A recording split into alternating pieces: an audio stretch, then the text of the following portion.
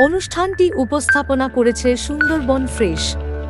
মধু ও স্বাস্থ্যকর শুকনো ফলের বিশ্বে বিশ্বস্ত নাম।